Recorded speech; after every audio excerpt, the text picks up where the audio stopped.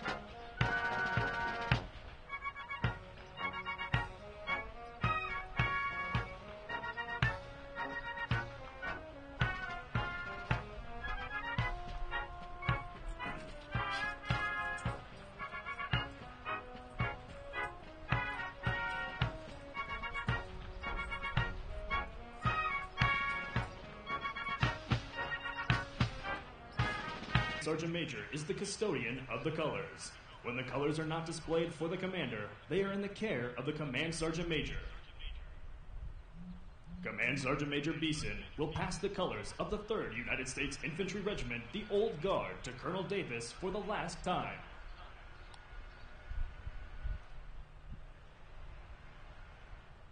Colonel Davis passes the colors to Major General Becker to relinquish his command of the regiment.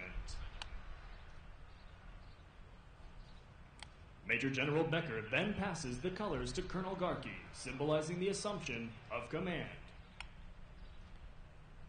Colonel Garkey then passes the colors back to Command Sergeant Major Beeson, again entrusting him with the care of the colors. Under the provisions of Army Regulation 600 20, the undersigned assumes command of the United States Army 3rd United States Infantry Regiment. 16 June 2016. Signed Jason T. Garkey, Colonel Infantry Commanding.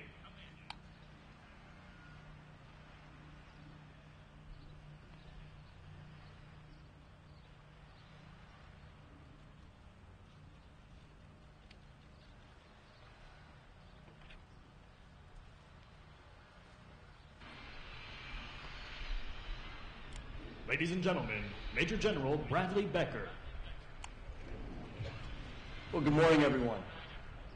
General officers, military attaches, civilian aides to the Secretary of the Army, members of the Arlington Police Department, former regimental commanders and command sergeants major, other distinguished guests, family, and friends. Welcome to today's change of command between Colonel Johnny Davis and Colonel Jason Garkey. I'd like to start by recognizing the U.S. Army Band, Pershing, Pershing's Own, and all of the great soldiers of the 3rd U.S. Infantry Regiment, the Old Guard. As always, you make us extremely pl- proud. Please join me in a round of applause for these great soldiers.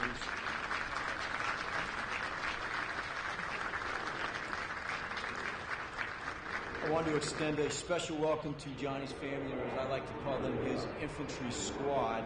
His lovely bride of 25 years, Stacy, daughters Lucy, Johnny, Rachel, and Penny, Sergeant Medea Davis, United States Marine Corps, currently stationed at the NSA, and as you heard, uh, Lieutenant Whitney Davis, not with us today. She's currently deployed to Afghanistan. Uh, please join me in a round of applause for this great Army and Marine family.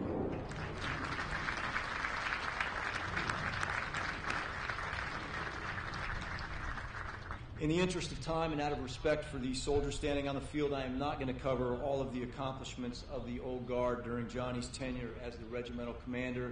There are just too many accomplishments, and we'd be here far too long. Instead, I'm going to talk briefly about why the Old Guard has been such a great organization under Colonel Davis's leadership. The Old Guard is the face of the Army in the National Capital Region and often the face of our nation to the world. As such, the soldiers of the 3rd U.S. Infantry Regiment represent the dedication and professionalism of our entire Army. And with that tremendously important strategic responsibility, we have been blessed to have Colonel Johnny Davis as our Army ambassador for these last two years. You will not find a more professional, upbeat, positive, selfless servant than Colonel Johnny Davis. Johnny is one, one of those leaders you just want to be around because his positive energy rubs off on you and makes everyone around him better. Over the last two years, the Old Guard has taken on that positive energy, and it is evident in everything that they do. From full honors funerals to state arrivals to wreath ceremonies, DA retirement ceremonies, dignified transfers to Spirit of America and other Army outreach events. Everything the Old Guard does, they do with precision, pride, and with a selfless attitude that says it's not about us, rather, it's about the unknowns, a grieving family, a head of state, or representing our Army to the nation. And this selfless attitude is a direct reflection of Colonel Davis's leadership. Johnny, you are a servant leader and an inspirational leader. You have left an indelible imprint on the Old Guard and on this entire community, as you can see by the turnout here today. You will truly be missed. I would be remiss if I didn't recognize Stacy and all that she has done. Johnny's energy comes not only from his love for soldiers, but also from the love and support he receives from his family. Stacy, Johnny could not do what he does without you, and this regiment is a better unit because of your caring and concern for our soldiers and their families. So thank you for your service. Johnny, I know that you will continue to do great things as the executive officer to General Brooks in Korea. We wish you, Stacy, and your entire infantry squad all the best in the future. And while we bid farewell to one great leader, we welcome another leader. Colonel Jason Garkey is an experienced infantryman with a great reputation, and he is no stranger to the old guard. Jason was a platoon leader in XO and Charlie Company. He commanded the Honor Guard Company and served as the aide de camp to the Military District of Washington Commanding General, and I can tell you that is a thankless job. More recently, Jason served as a professor of military science, was a battalion commander in 3ID, and served on the Army staff. So I want to welcome Jason, his wife Kathy, and their two children, Tyler and Natalie, to the Old Guard and the Military District of Washington family. Jason, I have no doubt that under your leadership, the Old Guard will continue to set the standard and to excel as the face of our Army to the nation and to the world. Again, thank you all for being here today, 1st Regiment, Old Guard. Ladies and gentlemen, Colonel Johnny K. Davis.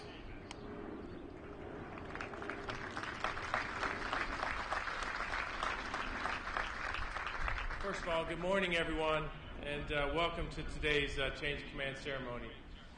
You know, I told you it would be a, a beautiful so, uh, ceremony, and these soldiers are just uh, phenomenal, the best of the best. Uh, before we begin, I'd like to acknowledge some special guests in attendance today. You know, we got uh, multiple civilian aides to the Secretary of the Army, Lieutenant General Murray, Lieutenant General Huntoon, former commander of the Old Guard, Lieutenant General Huggins, Lieutenant General Johnson, Lieutenant General Legere, uh, of course, Major General Becker and Mrs. Becker, Major General Hilbert, the honorary colonel of the regiment and former MDWCG, Major General Jackson, uh, my former MDWCG when I was a company commander. Sir, thank you for your guidance over the years, especially your investment in me as a young company commander. Mr. Havelak, senior executive service leaders of the general officers, Arlington National Cemetery staff, our interagency partners. We got former Old Guard commanders, especially uh, Brigadier General Jordan and Colonel Offenberg, uh, for your mentorship and guidance while serving as your Delta Company commander.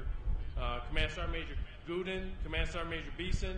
We got former Old Guard Sergeant Majors. Matter of fact, there's a platoon of them behind here uh, standing by. Uh, especially uh, Command Sergeant Major Butts, who kept me straight as a company commander and our newest honorary sergeant major of the regiment, Command Sergeant Major uh, Harry Wimbrough. Fellow brigade commanders, family, and friends, welcome.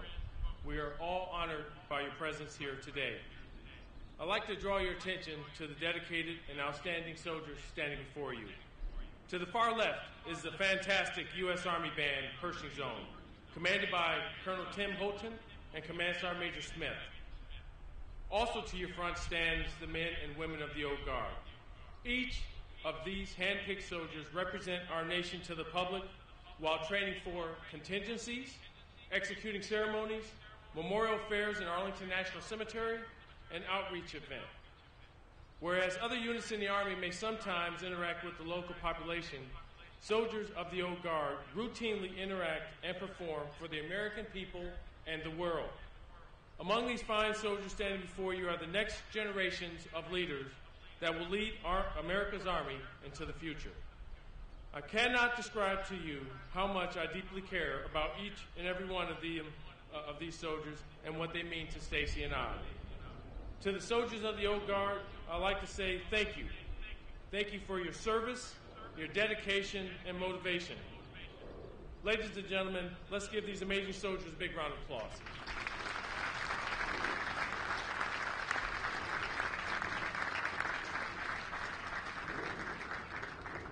You know, the great soldiers throughout the military district of Washington are led by a compassionate and mission focused command team. They are Major General Becker and Command Sergeant Major Gooden. They set the example every day for us with their strong leadership, mentorship, and wonderful command climate. They are always present during training, at ceremonies, and hosting our nation's senior leaders and foreign dignitaries. We are incredibly lucky to have such an amazing and dedicated command team. Sir, thank you for your leadership, for your trust and confidence, and for allowing me to command this very historic regiment. I'd also like to thank Major General Buchanan and Command Sergeant Major Turnbull for their leadership and mentorship as I took command. Your guidance and wisdom helped me grow and foster this regiment. To the command teams of the Old Guard, I remember uh, Colonel uh, Blake Connors, Lieutenant Colonel Dave Taylor, Lieutenant Colonel Ryan Morgan, and Lieutenant Colonel Jody Schaus. Thank you for your devotion and dedication. Together, we achieved much to care for these soldiers, provided predictability, and improved all aspects of our soldiers' quality of life, from the equipment they use every day to the barracks they come home to at night. We met unique challenges and have left the old guard functioning at a higher efficiency because we put the priority on soldiers first. To my Ranger buddies, Command Sergeant Major Sam Stoker and most recent Command Sergeant Major Scott Beeson, thank you for everything. We came together and accomplished the regiment's goals, invested in our NCO Corps, and left a lasting legacy that will be seen for years to come. Command Sergeant Major Beeson, you're a phenomenal leader, proven warrior, and exactly the right leader to serve the men and women of the Old Guard. There are many more to thank, but I simply want to say thank you for your tireless support to Stacy and I over the years. To my family, to my beautiful wife Stacy of 25 years, our six daughters, Lieutenant Davis, Sergeant Davis, her husband Sergeant Burfield. He's going to grow on me. Don't worry about it. Uh, Lucy, Johnny, Rachel, and my little Penny. That's a lot of women in my life, uh, but they take care of me.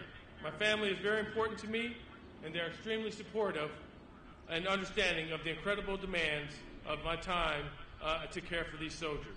Stacy, my love, thank you for being my rock and biggest supporter.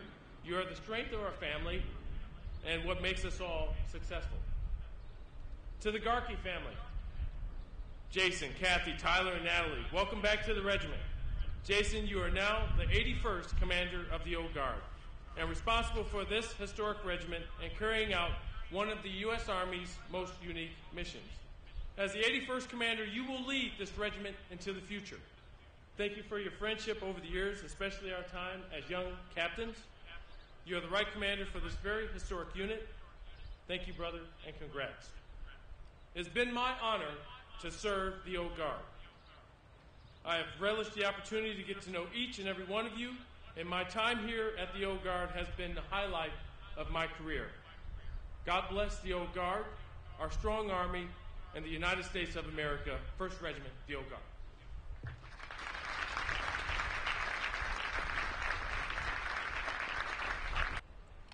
Ladies and gentlemen, the commander of the 3rd United States Infantry Regiment, the Old Guard, Colonel Jason Garkey.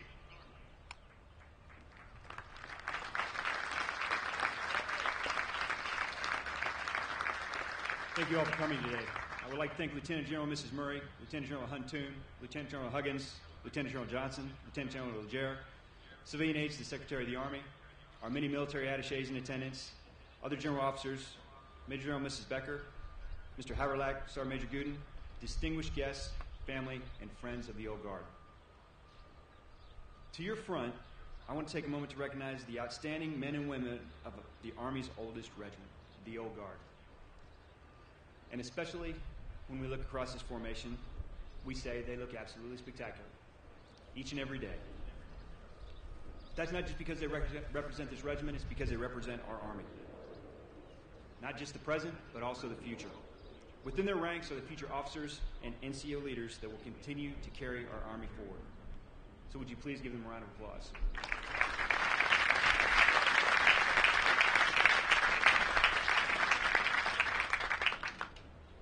It is a distinct honor and privilege to rejoin the Old Guard. My family has a special place in our hearts for this regiment. I married my wife across the parade field at the Old Post Chapel. My son was born while I commanded Honor Guard Company. It almost feels like we're coming home. And with all the familiar friends and faces that are in this crowd, uh, represents uh, eight of you are former lieutenants that when I was here, as well as people who were here during my company command tour, and then people that I've served with throughout my entire career. And we're extremely happy to have you share this event with us. This audience is unlike any normal audience because the guest at today's sem- ceremony represents the patchwork quilt of my life. Some of you travel halfway across the country to be here, and the crowd contains family, childhood friends, academy classmates, and the relationships have enriched our lives in innumerable ways, which makes it extra special that you share this moment with us. I acknowledge many people accompanied me and facilitated my success along this road, which led us back to the regiment, and several of those leaders are here today that show me the importance of selfless service and mentorship. Lieutenant General Mrs. Murray provided the Garkeys a role model of a steadfast Army family since our days with the 1st Battalion, 18th Infantry Regiment, all the way to the dog-faced soldiers of the Marne Division. Lieutenant General Huntoon showed this young Charlie Guard lieutenant what it meant to develop a legacy and to build junior officers who grow into future regimental commanders. Major General Jackman, who I was an aide for, made me think about the critical transition of becoming a field grade officer from a company grade. And Lieutenant General Huggins and Major General Gonzalez gave me an appreciation for what makes our Army run and how to transition after battalion command to successfully contribute at the highest levels of our Army. But most importantly, these leaders at various times during my career helped me evolve to the next level so I could continue to effectively serve our soldiers and their families. I would love to continue to thank many others attending today, but I could never truly extend how each and every one of you have impacted me and helped me achieve this great honor. There's no greater privilege for an officer than command. Major General Becker, thank you, sir, for the confidence, and I will make sure I don't let you down.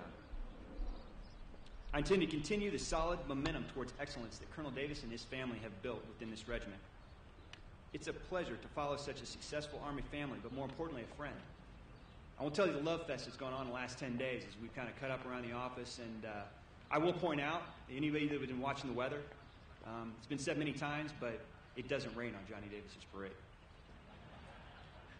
I would have never guessed 15 years ago that we would meet on Summerall Field and exchange the regimental colors. It's been said many times, but I want to reiterate his love for this regiment shows in everything he does. Brother, good luck to you. Stacy and the rest of Team Davis as you embark on the next adventure. To my family, my wife Kathy, Tyler, and Natalie, they serve as my shining light. Their love and support provide me with a fire to do the best I can do each and every day.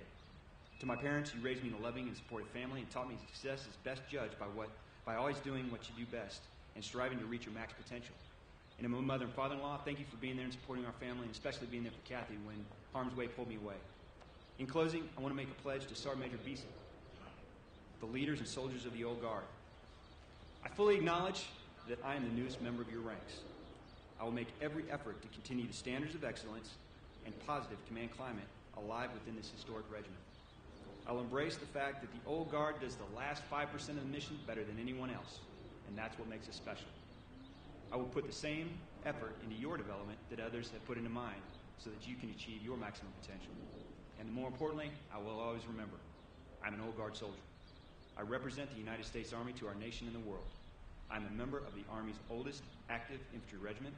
I will strive to uphold the honor, values, and tradition of those who came before me. I will never forget my responsibilities to my fellow soldiers, myself, and my country. I am an Old Guard soldier. God bless this regiment, our Grand Army, and the United States of America. America's Regiment, the Old Guard.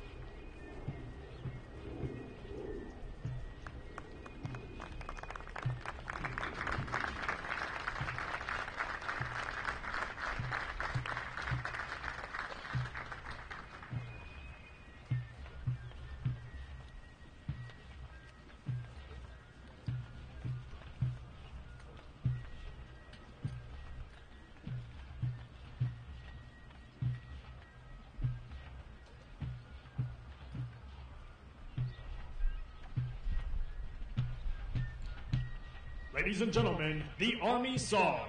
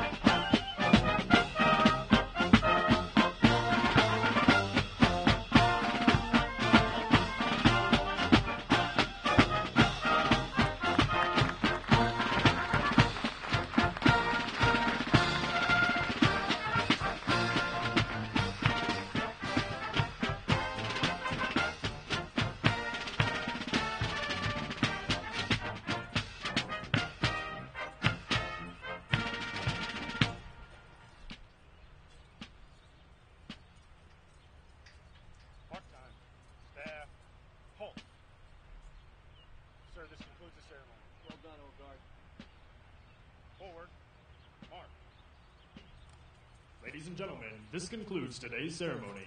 Colonel and Mrs. Davis will receive well wishers in front of the reviewing stand.